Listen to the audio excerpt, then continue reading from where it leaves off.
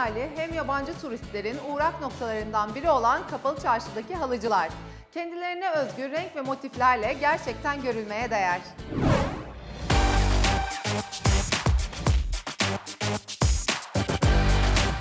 Merhaba, bugün Türkiye'nin en büyük ve en popüler çarşısı Kapalı Çarşı'dayım. En popüler diyorum çünkü gerçekten çok kalabalık. Ben de bu kalabalıklığın arasında bir halıcı gördüm ve sizler için halıcıya da girmek istiyorum. Gelin hep birlikte bir göz atalım. Kapalı çarşıda dolaşırken e, dışarıdan baktım çok güzel gözüküyor halılar. Halılar hakkında da birazcık bilgi almak istedim izleyicilerimiz için de. Tabii. Teşekkür ederiz. Kaç yıldır bu e, mesleği icra ediyorsunuz? Ben şimdi 63 yaşındayım. Ee, 13-14 yaşında e, başladık. Ondan sonra e, Arkada da tabii 1918 E, tabii, tabii, yazıyor. tabii. Şöyle görün. başladık. Aşağı yukarı benim 50 seneyi o- e, buldu meslekte çalışır olmam.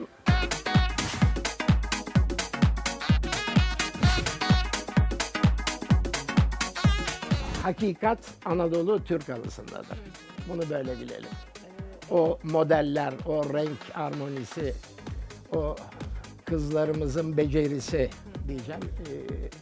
Ee, El bambaşka. dokuma halıları Tabii. gerçekten kesinlikle en çok tercih edilen halılar arasında en E, tabii, trend diyebiliriz. tabii. E, bu arada fiyatları da tabii diğer halılara göre daha fazla E, değil biraz mi? fiyatlı tabii çünkü bir emek var üstünde çalışılıyor. Öteki makinaları gibi hemen üretime girip de çıkmıyor.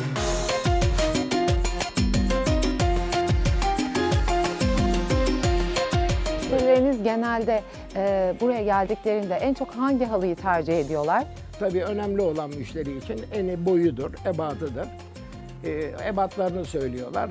Biraz renk olarak da bilgi veriyorlar. İşte ya çok pastel açık renkler deniyor ya da e, koyu renkler deniyor. Açık renkler dendiği zaman e, belirli halılar var. İşte Milas halısı olsun, Uşak halısı olsun. E, bunlar da daha çok. Kayseri halıların var açık renkleri.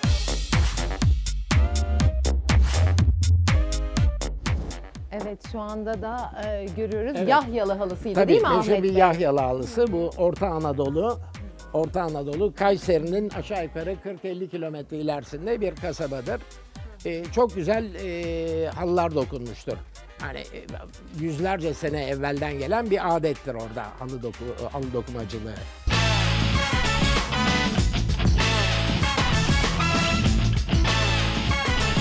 Şimdi Arif'in açtığı halı da Yağcı Beder halısı. Bu Balıkesir'in e, Sındırgı e, ilçesi vardır. Orada dokunur. Özelliği e, küp boyalarla yapılır. Öyle mi? Tabii güzel el eğirme yün kullanılır. Bir de klasik bir motifi vardır. Bunu dokur. Kırşehir halısı, e, Orta Anadolu halısı e, Türk halıcılığının önemli halılarından bir tanesidir. E, babam bunu özellikle çok seviyor. Şu ortadaki kandilini, mihrabını.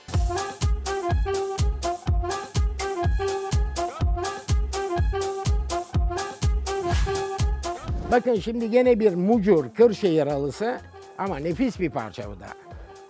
Çok eski yani aşağı yukarı 80 sene civarında bir halı.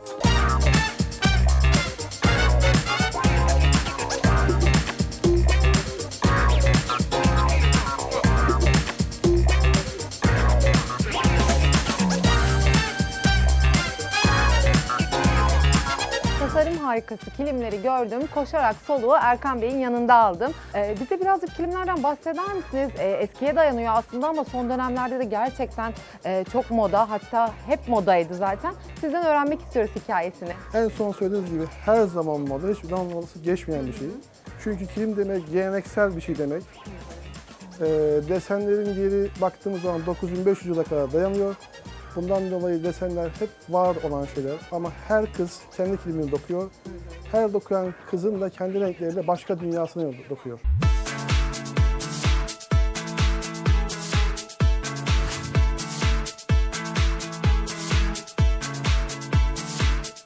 Kilim, kilim budur. Bu kilimin rengini tasarlayan yalnızca o kızdır. Yani annesinden dokumacılığı öğrenir ve e, daha sonra dokumacılığı yaptığı zaman kendi renklerini uygular. hiç kimsenin baskısı altında kalmadan özgür ruhuyla kalbinden gelen renkleri dokunmuştur.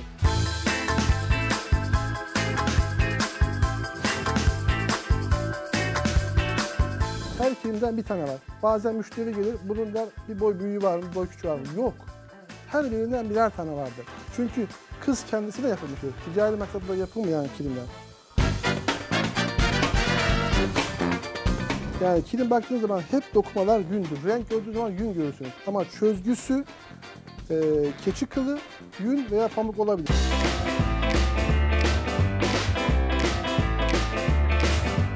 Kilimler bunlar tamamen eski ve çok değerli. Bizim müşteri portföyümüzün %75'i yabancı, %25'i yerli. Ama kim girdiği zaman hep bütün sanatçılar gelip alışveriş yapıyor. Yani e, rengi seven geliyor. Yani bir yerini kaplamak için almıyorlar bunu. Bununla yaşamak için alıyorlar.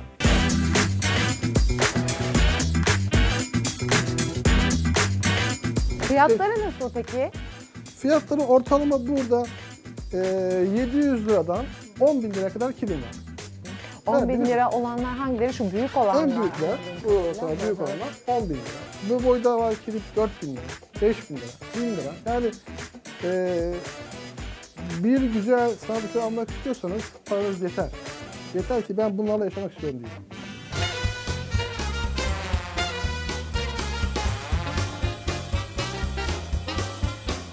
Bunlar genelde hangi yörede e, yapılıyor?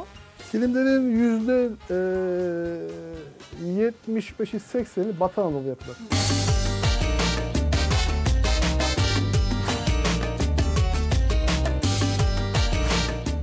Erkan Bey'e çok teşekkür ediyoruz. Gerçekten kilimlerin tarihi çok eskiye dayansa da moda olma yolunda hep ilerliyorlar. Ee, görüşmek üzere.